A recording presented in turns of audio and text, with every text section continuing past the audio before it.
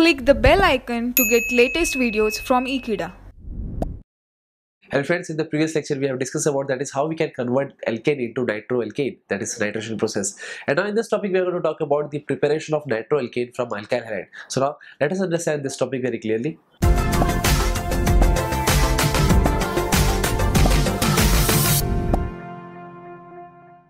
So friends, here we are going to convert the alkyl halide into nitroalkane. But for that, we can use different reagents also. But let me explain about the first one. That is, suppose if we have considered an alkyl halide and if suppose if we are reacting it with that is silver nitrite. So in this case, the substitution reaction will take place and the corresponding nitroalkane can be obtained.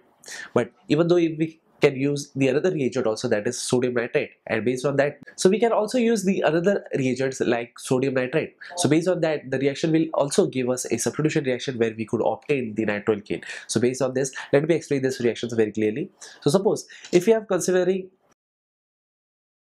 an alkyl halide and this alkyl halide could be a primary also or it could be a secondary alkyl halide also.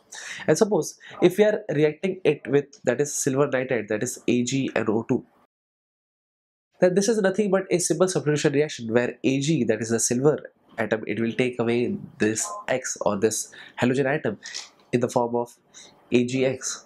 And the substitution reaction will give us basically R and O2. So this is nothing known as nitroalkane. So this is easily we can prepare nitroalkane. But for that, let me give you an example also. Suppose if we are considering that is CH3, CH2, Br suppose if we are reacting it with AgNO2 that is silver nitrate so in this case AgBr that will be used in this case AgBr that will be removed as a byproduct that is in the form of AgBr along with that of the main product that is what we need is nothing but CH3 CH2 NO2 so this is how basically we can convert an alkyl halide into a nitroalkane. But the thing is, we can use alkyl bromide, we can use alkyl iodide, but by using alkyl chloride, the product that we could obtain, it will get a very slower reaction and that's the reason that we are not using alkyl chloride. Instead of that we are using alkyl bromide or we are using alkyl iodide. And based on that suppose if it reacts with AgNO2 then the product that we could obtain is very much fast and that is what we can obtain at higher yield also.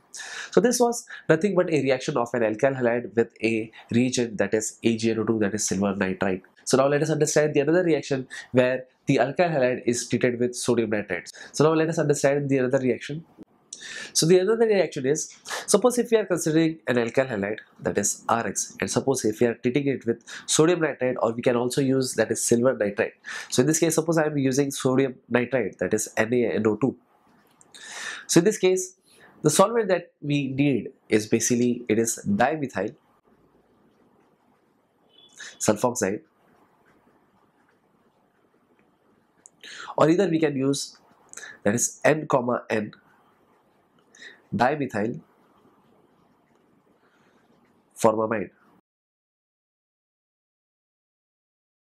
So by using this solvent, we can easily convert that is an alkyl halide into the corresponding nitroalkane. So in this case, the byproduct that is what we could get is nothing but NaX. So that would be removed as a byproduct. And the main compound that we need is RNO2, that is a nitroalkane.